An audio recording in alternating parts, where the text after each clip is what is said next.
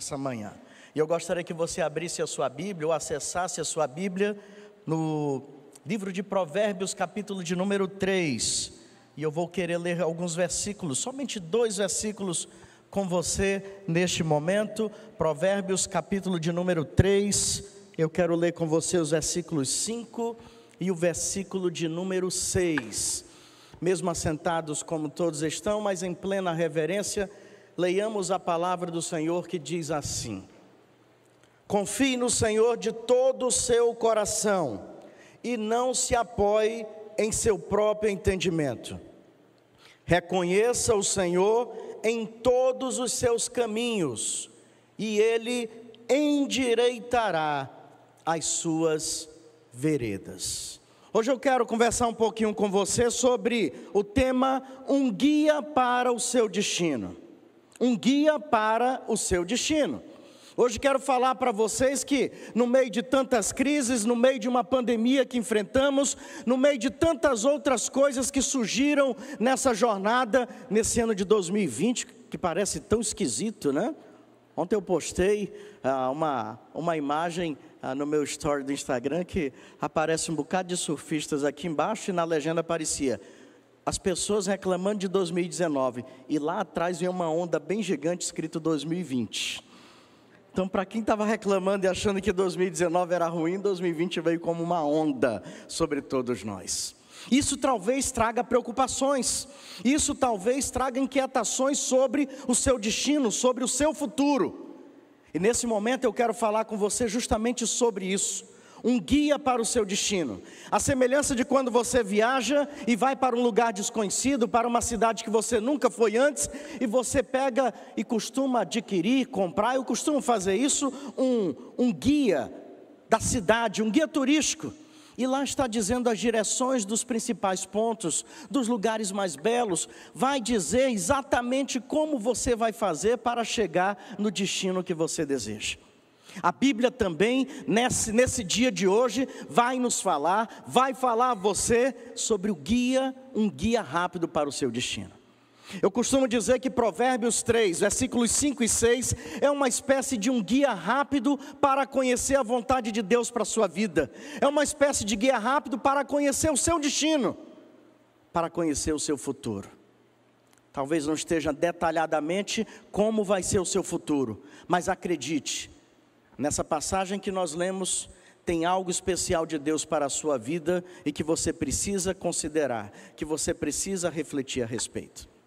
Ouvi certa feita a história de um homem que agora já na sua idade já adulta, caminhando para a terceira idade, ele comentava com seus alunos de uma escola bíblica dominical o seguinte, que um determinado dia ele chegou com seus pais e disse para eles: "Pai, mãe, eu vou seguir a minha vida eu vou agora para uma outra cidade, eu vou fazer, vou tentar outros estudos, vou galgar uma carreira, vou pensar em uma família, eu agora vou tentar seguir com as minhas próprias pernas. E chegou o dia da partida daquele filho, ainda bem jovem, esse que contava a história, e ele diz que no momento em que foi se despedir seu, da sua mãe e agora do seu pai, ali na porta da sua casa, já com as malas prontas, o táxi esperando na porta, o seu pai pegou e entregou um bilhete bem dobradinho para ele em suas mãos. E disse para ele: Acredite, nesse bilhete está tudo o que você precisa saber sobre o seu destino. E colocou na palma da mão e fechou a mão do seu filho com aquele bilhete.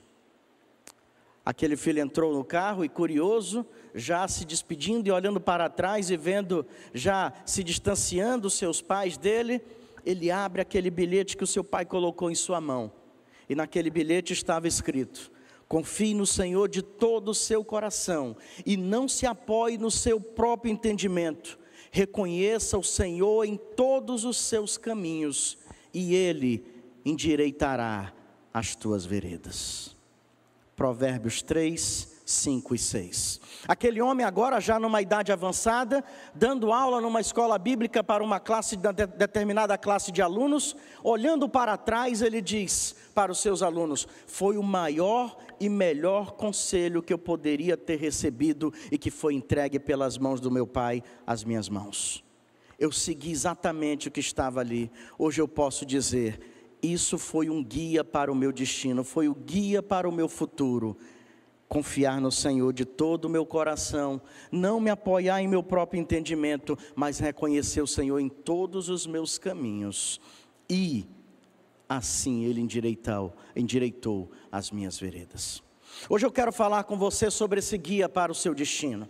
Hoje eu quero tranquilizar seu coração, ao mesmo tempo encorajá-lo diante de todos os desafios e tantas incertezas que estamos enfrentando, que você está enfrentando, quer seja de forma geral, quer seja de uma forma bem particular, quer seja um problema familiar, quer seja lutas financeiras, quer seja questões emocionais, existe um guia hoje preparado por Deus para levar você ao destino que Ele deseja. Esse guia começa por uma palavra muito especial, um verbo, aqui conjugado nessa passagem que nós lemos: confiar. Confie. O guia para o seu destino começa por uma palavra: confiar. Agora observe bem, essa palavra, esse e todas as suas derivações, confiar na nossa língua portuguesa, ela é muito direta, ela é muito objetiva na sua, no seu entendimento.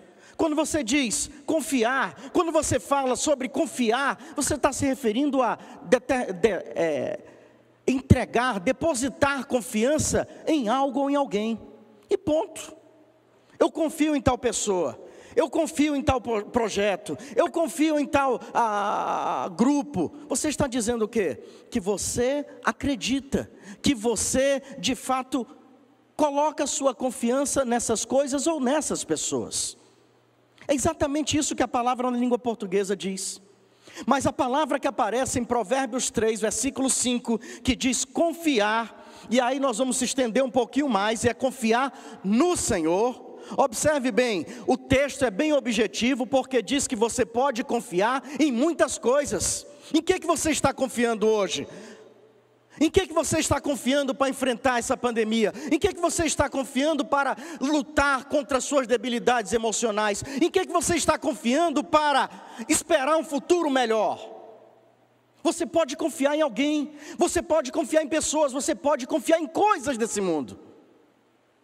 O conselho que o guia para o seu destino revela é confiar no Senhor. Mas observe bem, eu disse que há uma limitação na nossa língua portuguesa em relação a essa palavra. É muito direta, é confiar em algo, é, é, é depositar confiança. Mas, preste bem atenção para mim, quando a língua dos hebreus usava essa, esse verbo confiar, quando o autor de Provérbios usou a expressão confiar no Senhor, Preste bem atenção, porque você nunca mais vai falar confiar no Senhor da mesma forma que você falou até hoje. Confiar no Senhor não quer dizer confiar como confia em outra pessoa. Confiar no Senhor não é dizer eu vou deixar de confiar em algo para confiar em Deus. Eu vou deixar de confiar em alguém para confiar em Deus. Não! Quando os hebreus falavam confiar no Senhor, preste bem atenção, porque a partir de hoje você vai falar essa expressão com todo o seu ser, de toda a sua alma. Confiar no Senhor para os hebreus era a expressão usada, e o significado era debruçar-se. A expressão, a, a, língua portuguesa é limitada, mas no hebraico seria estender o seu corpo ou deitar-se de bruços sobre algo sólido, sobre algo seguro. Você não entendeu? Para o hebreu, confiar no Senhor era depositar o seu corpo, a sua vida sobre o Senhor e descansar nele.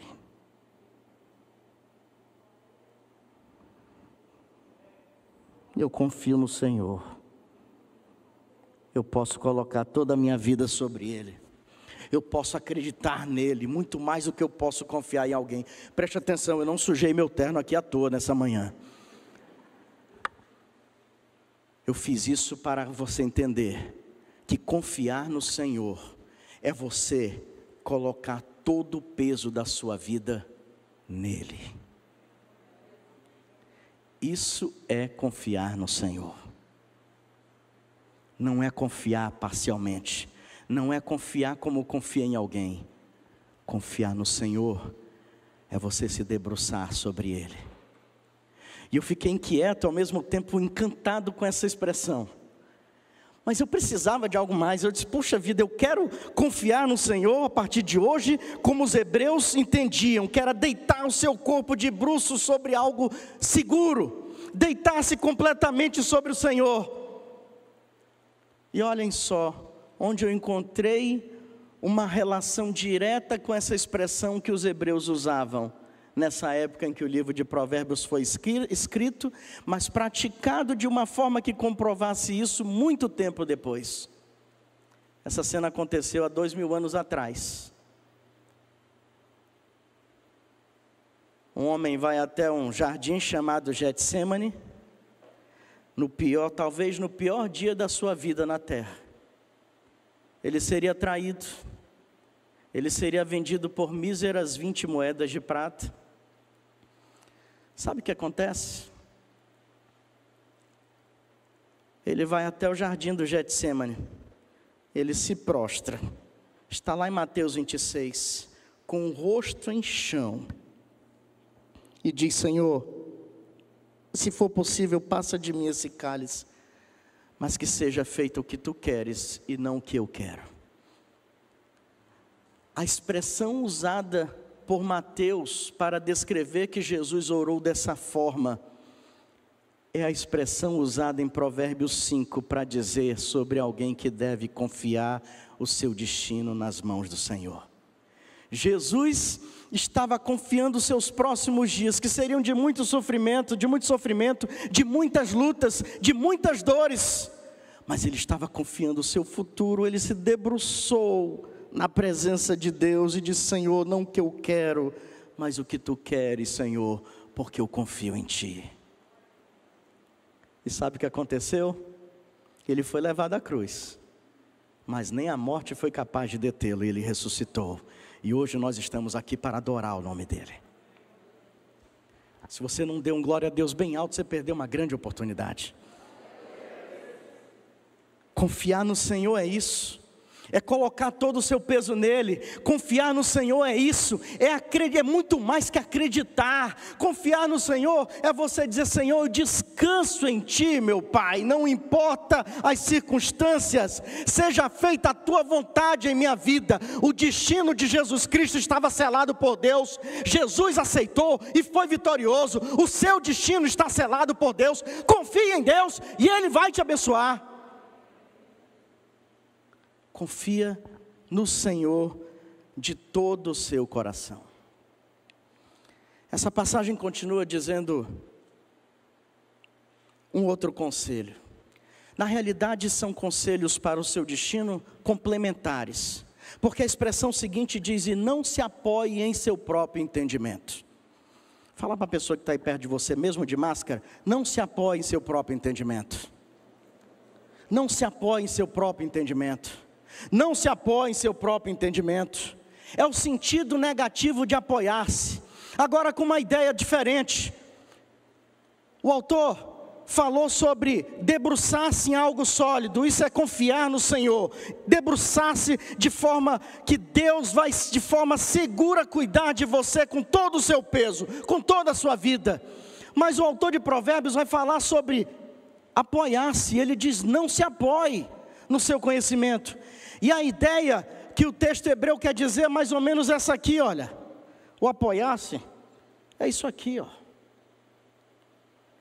Eu me encosto, eu busco uma ajuda. Essa, ideia, essa palavra também era usada para pessoas que usavam bengala, que usavam alguma espécie de andador naquela época, que podiam parcialmente colocar o peso do seu corpo. O conselho para o seu destino passa por dizer: não se apoie, não confie totalmente e nem parcialmente no seu entendimento, no seu comando, central de comando dos seus pensamentos. Ele pode, eles podem trair você, eles podem levar você para a direção errada, eles podem levar você a fazer as escolhas erradas, mesmo quando você acha que está certo. Mas o guia para o seu destino diz: não se apoie no seu próprio entendimento, mas se debruce totalmente em Deus. Não confie na sua cabeça totalmente, não confie em toda a sua força racional, não confie que você pode entender a vida como ela é, simplesmente racionalizando tudo. E tem pessoas que costumam fazer isso, são muito racionais.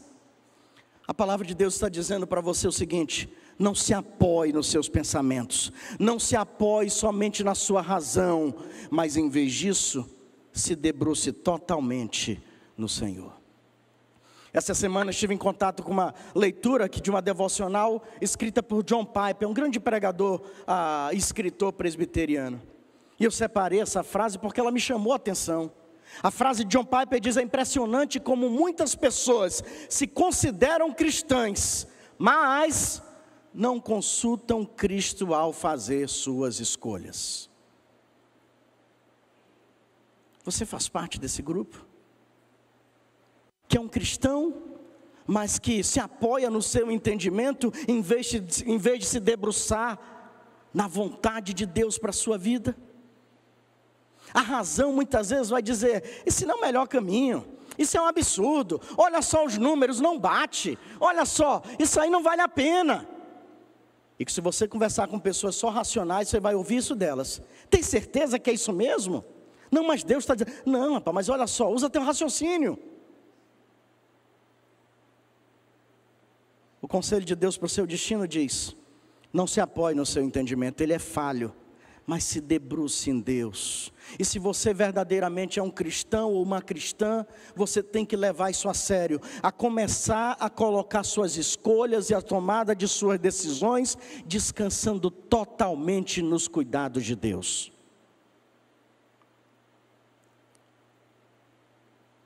Foi por causa do confiar no seu próprio entendimento, na sua razão, que os filisteus quebraram a cara diante de Davi. Racionalmente falando, um gigante ganharia fácil de um garoto que não tinha nenhuma experiência militar. Isso é apoiar-se em seu próprio entendimento. Davi se debruçou sobre o poder de Deus e venceu o gigante Golias e tantas outras batalhas que teve pela frente.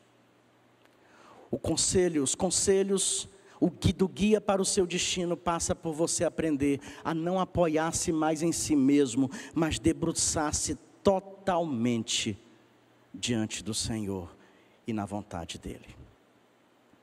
Há um terceiro conselho para o nosso destino, que ele é muito marcante e que eu creio que vale a pena nós trabalharmos nele nessa manhã.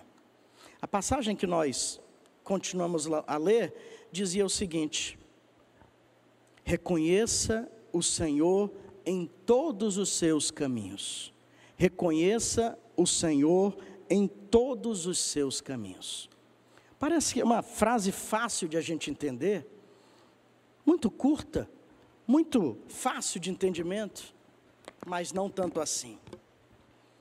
Quando o sábio escreveu essa, essa palavra, essa expressão, conheça o Senhor com todo o seu reconheça o Senhor em todos os seus caminhos.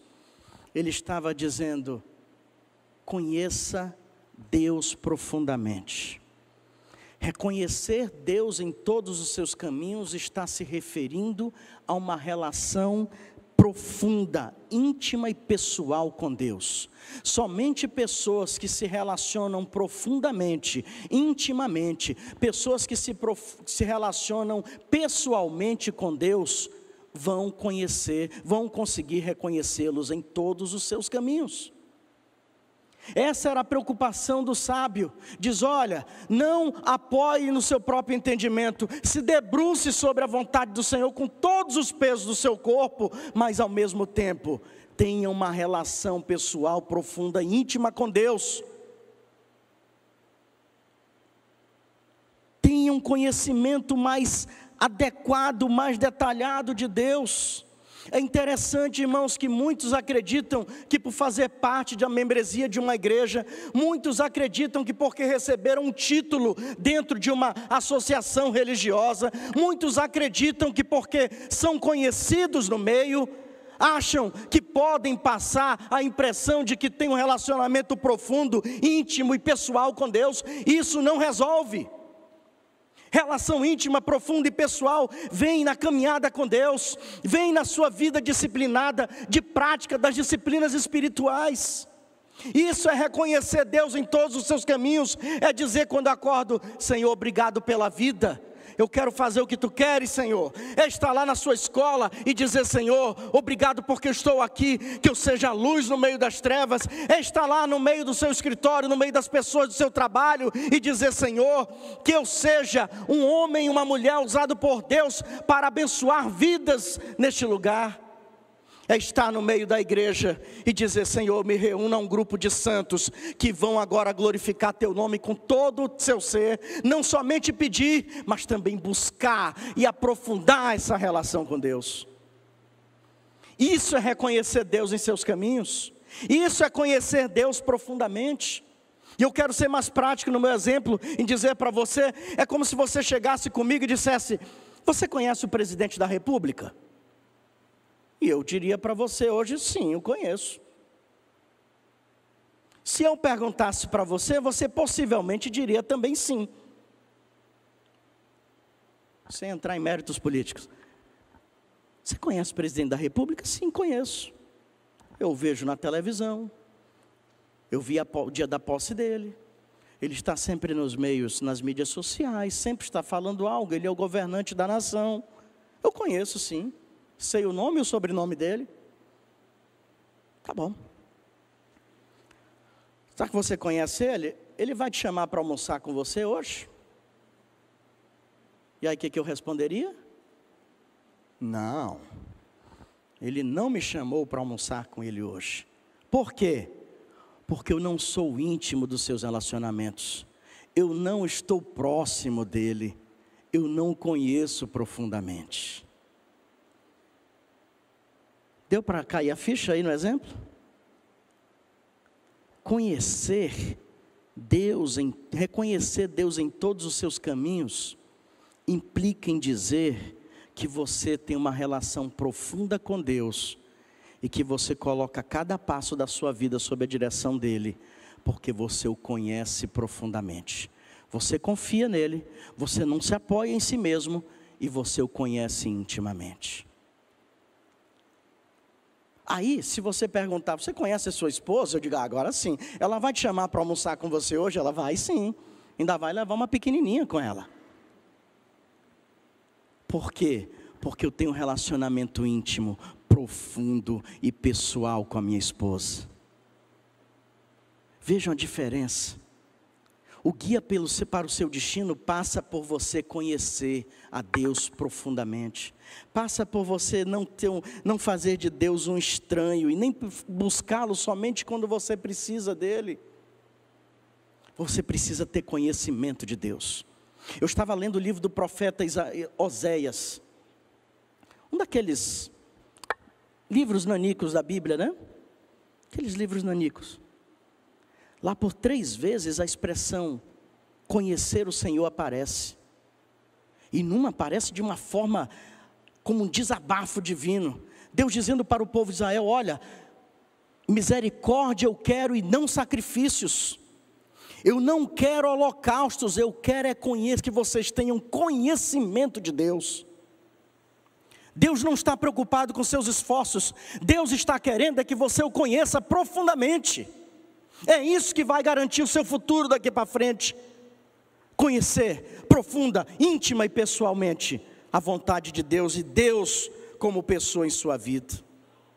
Davi, quando vai se despedir de Salomão, esse é o conselho que dá: Meu filho Salomão, conheça o Deus do seu pai. Hoje Deus está dizendo para você: conheça o Deus dessa igreja, conheça o Deus do universo, conheça o Deus desse mundo. Conheça Deus mas está muito mais do que na esfera religiosa. O seu destino passa por você conhecer profundamente Deus como alguém que o conhece de perto, como alguém que se relaciona como se relaciona com um amigo. E essa passagem que nós lemos tem, eu não sei se você observou até aqui, tem algo marcante nela. Ela vem numa sequência de três conselhos e uma promessa três conselhos e uma promessa. Três conselhos: confie no Senhor, não se apoie no seu próprio entendimento, reconheça-o em todos os seus caminhos. Três conselhos. Esse guia para o seu destino garante, preste atenção nisso, garante que quem segue esses três conselhos em sua vida vai estar debaixo de uma promessa. Você sabe qual é essa promessa?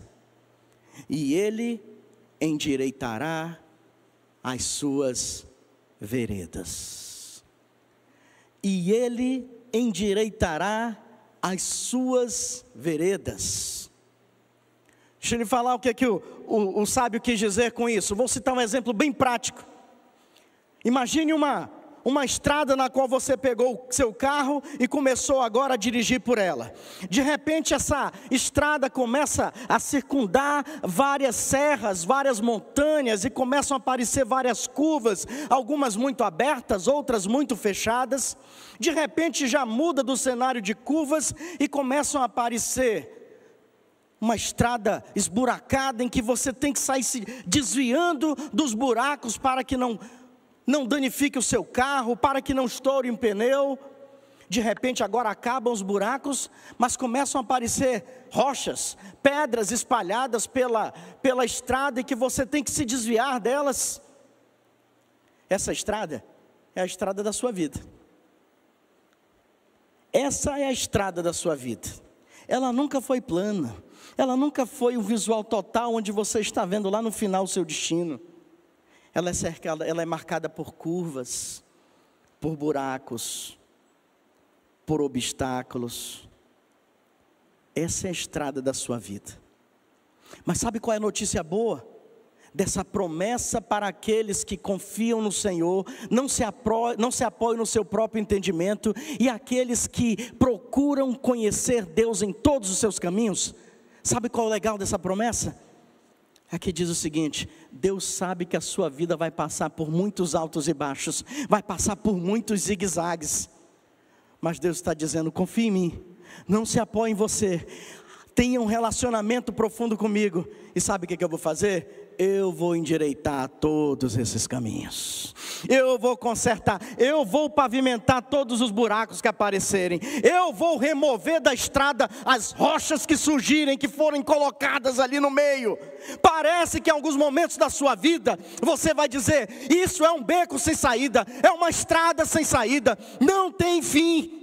E Deus vai dizer: Eu então vou abrir uma outra estrada, eu vou abrir uma outra vereda, porque você vai chegar no destino que Deus quer. Essa é a vontade de Deus, essa é a promessa de Deus para quem segue o guia do destino divino. Você acredita nisso? Eu acredito. Eu acredito, sabe por quê? Porque eu estava lendo no, no, Antigo Testamento, no livro de Gênesis, a história de Isaac. E Deus diz: Isaac, vai lá, olha, diz para o seu pai: manda Isaac para outra terra, porque é lá que ele vai conhecer Rebeca. Um caminho tortuoso, um caminho difícil, um caminho desértico. Mas Deus endireitou os caminhos de Isaac até encontrar a Rebeca, que seria sua esposa. Deus preparou e Deus endireitou o caminho do povo de Israel 40 anos no deserto para que eles chegassem à terra prometida. Escorpiões, deserto, aridez, frio pela madrugada, mas Deus endireitou os caminhos do povo dele para que chegassem até a terra prometida.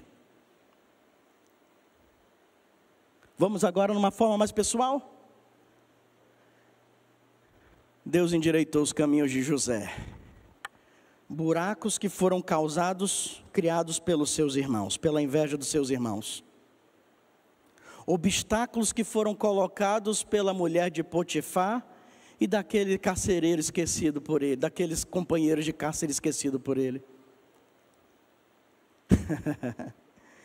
Mas Deus preparou, pavimentou, endireitou todos os caminhos de José, até que ele chegasse na cadeira de governador do Egito. Confia no Senhor, não se apoie em seu próprio entendimento. Procure conhecê-lo profundamente, reconheça-o em todos os seus caminhos. A promessa de Deus sobre a sua vida hoje é: Ele vai endireitar as tuas veredas. Tome posse dessa promessa, Ele vai endireitar todas as tuas veredas. Se ele fez com José, se ele fez com Isaac, se ele fez com o povo de Israel, o que ele promete, ele cumpre, ele vai fazer com você. Sabe, irmãos, eu, eu fico maravilhado desse texto, porque parece que Deus está nos dizendo, e eu vou ter que concluir, porque aquele relógio ali corre mais do que mentira. Deus está nos dizendo nesse, nesse dia o seguinte: Deus está olhando para os olhos do seu coração. Eu tenho muita dificuldade de reconhecer faces com essas máscaras. Mas Deus não tem dificuldade nenhuma de reconhecer o seu coração nesse dia. E dizer para você: o guia do seu destino está nas mãos dele. Sabe o que você precisa fazer? Confiar no Senhor. Sabe o que você precisa fazer? Parar de racionalizar a vida, parar de acreditar tanto na sua razão, como quem diz: Eu sou o cara, eu tenho experiência, eu sei de tudo. Pare de achar que você sabe tudo nessa vida. Reconheça Deus em todos os seus caminhos. Está na hora de você sair desse relacionamento superficial, raso com Deus, e ir para águas mais profundas. Ele está te chamando nessa manhã. Venha para águas mais profundas comigo. Abandone o seu raciocínio, a sua lógica, porque Deus é muito bom em refutar lógicas humanas.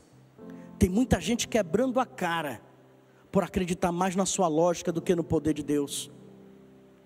Hoje Deus está dizendo: reconheça, me reconheça em todos os seus caminhos, porque tem uma promessa para você. Sabe qual é essa promessa? Ele vai endireitar todas as tuas veredas. Onde tiver esburacado, ele vai pavimentar. Onde tiver obstáculos, a sua mão poderosa vai remover. E para aqueles que se debruçarem na pessoa de Deus, Deus vai dizer: Eu vou cuidar do seu destino, eu vou cuidar de você, eu vou levar você até onde eu planejei antes do teu nascimento. Ah, pastor, mas eu não estou conseguindo ver dessa maneira. Então parece que a sua estrada é sem fim, é sem saída. Mas Deus já viu o final dela. Ele só quer que você confie nele. Ele só quer que você descanse nele. Ele só quer que você se debruce sobre ele. Porque hoje ele está lançando uma promessa sobre você. Eu vou endireitar as tuas veredas. Eu creio nisso.